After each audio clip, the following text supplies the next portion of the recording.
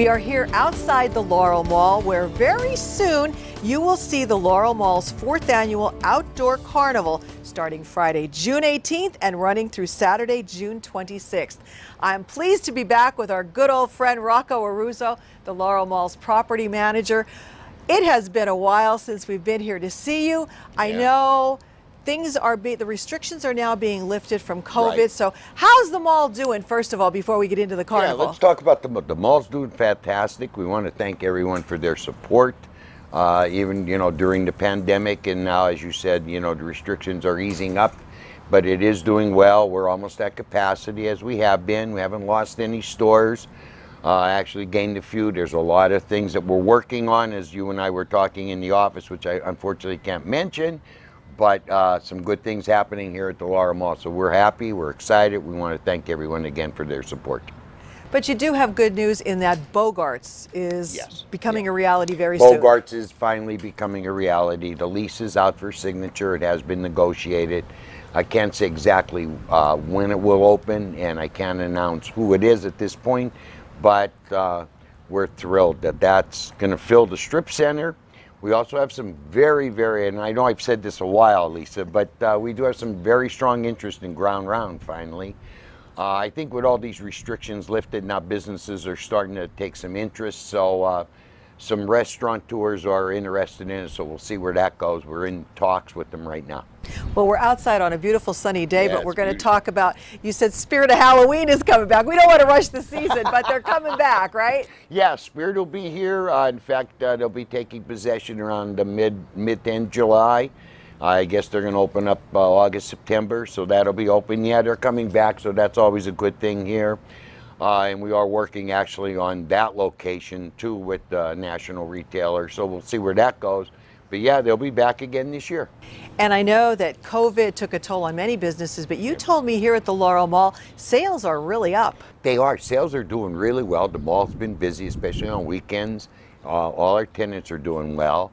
And, and that's a good thing. That's a good sign that, that the economy is here. It's coming back. And, and, you know, we believe in it. We believe in our area. And, and I think there's good things to come yet.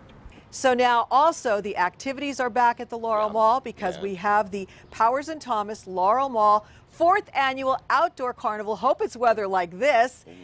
And you are helping us to give away not one, not two, not three, not four, but five family four Five packs family of four-packs. wristbands. Yes, and What's that's a the hundred value? value per each. So that's a five hundred dollar giveaway that we're giving away, and uh, they'll get four wristbands. And how, what we'll do is uh, you're going to run the contest. You'll give us the names, and then they'll be able to come and pick up a letter that they'll be able to bring over to the carnival, and they'll give them the four wristbands. They can pick it up at the Pennsylvania Skill Games where we sell our Laurel Mall gift certificates. And uh, we're looking forward to it. Yeah, weather-wise, this is a little later because usually we did it April, May. This year we're doing it in June uh, with the availability from Powers.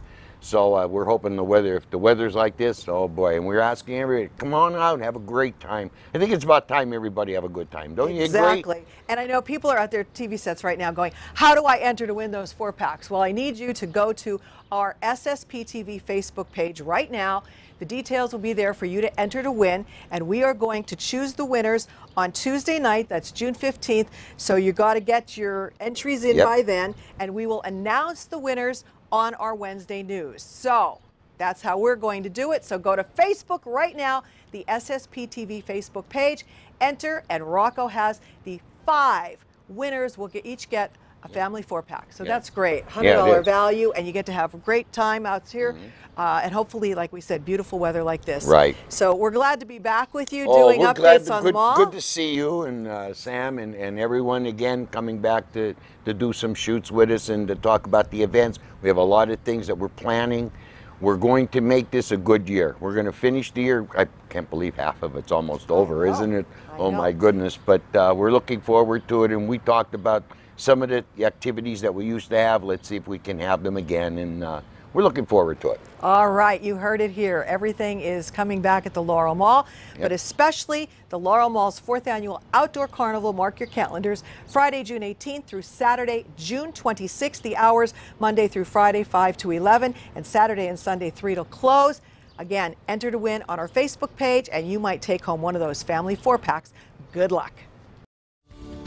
Today's news feature is brought to you by Frankie's Pizzeria and Restaurant in downtown Hazleton. For more information on their specials, hours, and where you can find their delicious tavern pizza, you can call 570 454 6000 or you can visit their Facebook page.